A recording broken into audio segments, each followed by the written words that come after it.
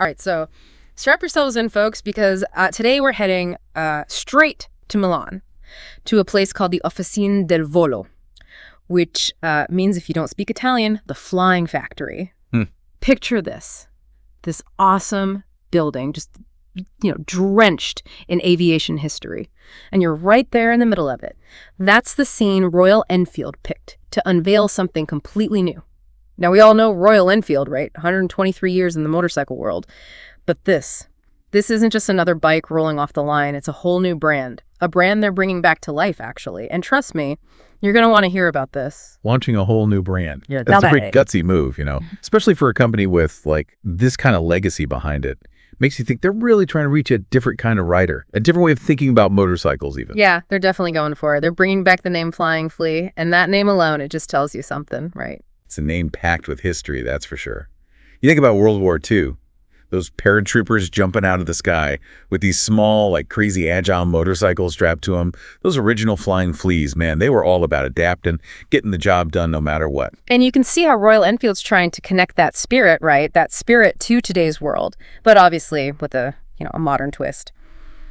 Before we get too deep into this whole new flying flea thing, I think it's helpful to understand where Royal Enfield itself has come from. We got some great insights from uh, CEO B. Govindarajan's speech that kind of lay it all out. Rajan's perspective is really something because he's the one who steered the company through some like massive changes. Okay, so rewind back to the early 90s. Royal Enfield is basically just this one factory in Chennai, pushing out, what, maybe a thousand motorcycles a month?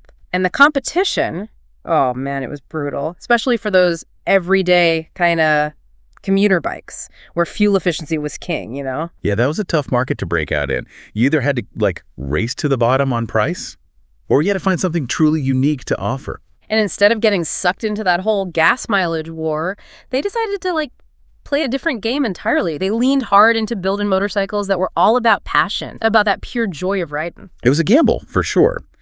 But man, it was brilliant too. They recognized that for a certain kind of rider, it's the experience, the feeling of the bike that's more important than just, you know, ticking boxes on a spec sheet. And wow, did it ever pay off.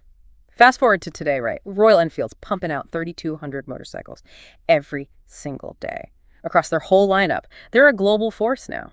And in the middleweight category, they're the ones to beat. It's proof their vision was right on the money. They understood their niche and they built on that authenticity instead of chasing every trend that came along. And so now they're taking all that experience, all that know how, and they're launching Flying Flea as a separate brand under the Royal Enfield umbrella. And they're going after those riders who want something more urban, more styled. They're calling them City Plus riders. That's an interesting distinction, City Plus. It suggests someone who's not just using their bike to get from A to B. It's Yeah. like part of their whole lifestyle, you know, an extension of themselves in this connected urban environment. Right, exactly. And the first model they've shown off, the C6. This is where things get really interesting. It's this amazing mix of retro looks with some seriously cutting edge tech. That combo, it's really hot right now. You see it in design and technology everywhere. This idea that the future kind of has to have a little bit of the past mixed in. Think about it. You've got this classic girder fork suspension, which I gotta say, it's more than just a visual thing, you know? It actually makes the bike handle differently. Yeah, that girder fork, it gives you a much more direct connection to the front wheel. A kind of rawer, more mechanical feel. Some riders, they absolutely crave that. It's less about smoothness and more about that like visceral feedback. And then you've got the battery pack. They've styled it so beautifully, it almost looks like it's part of the motorcycle's frame. They've kept that retro vibe going with the single seat, the round headlamp, and even a TFT dashboard. That somehow doesn't look out of place at all. It's like they carefully chose every single detail, blend in the familiar with the futuristic. It's a design language that really speaks to this whole heritage meets innovation idea. But don't let the looks fool you.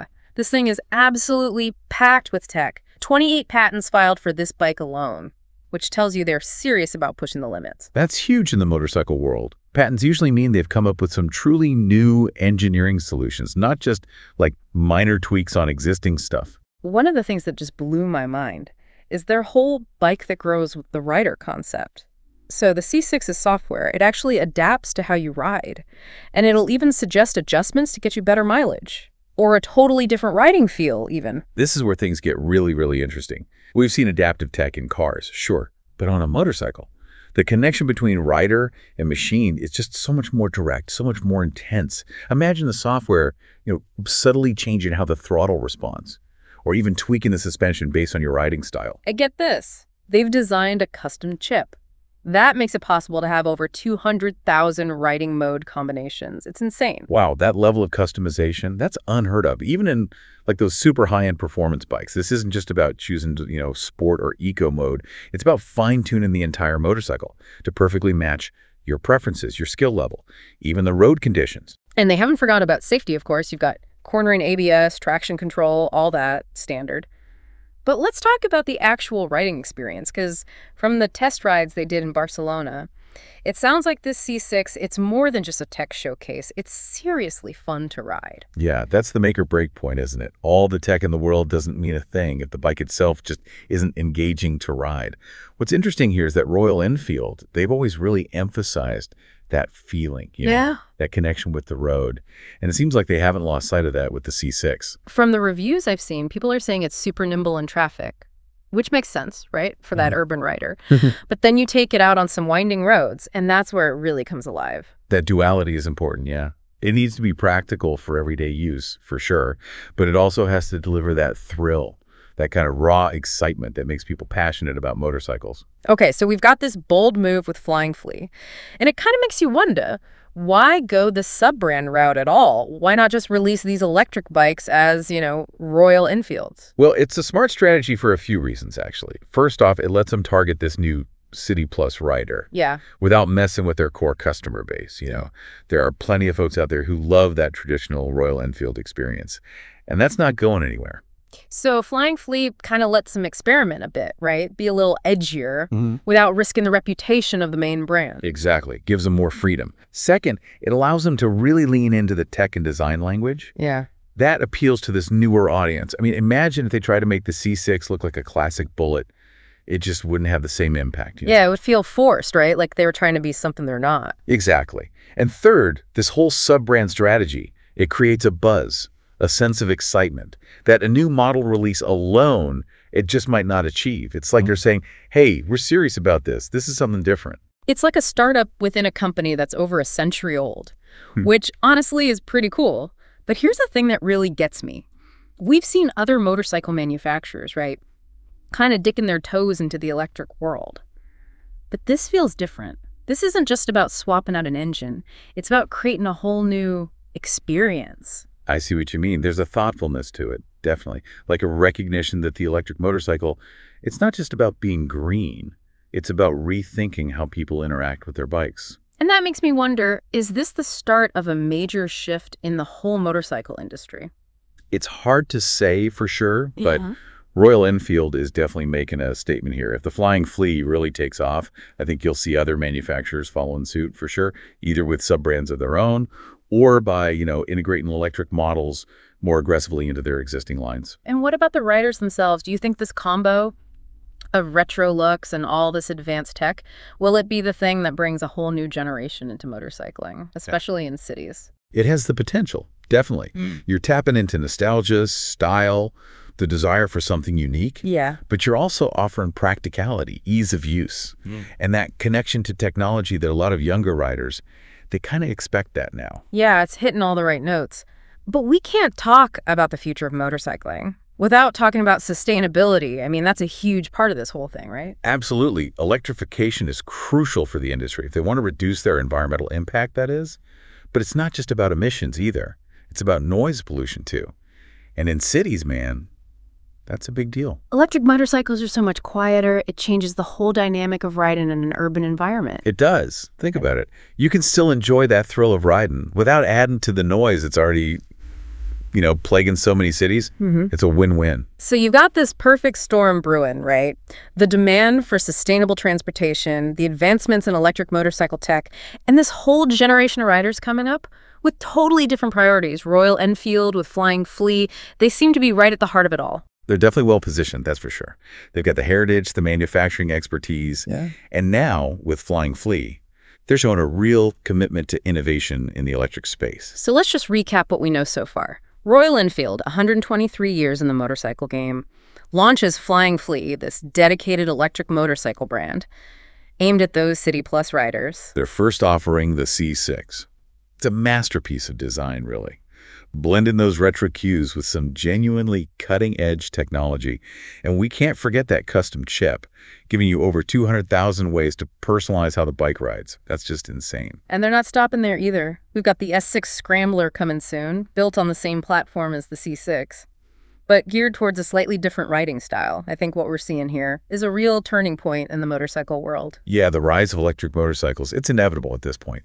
What's fascinating is how companies like Royal Enfield how they're shaping that evolution. They're not just reacting to it.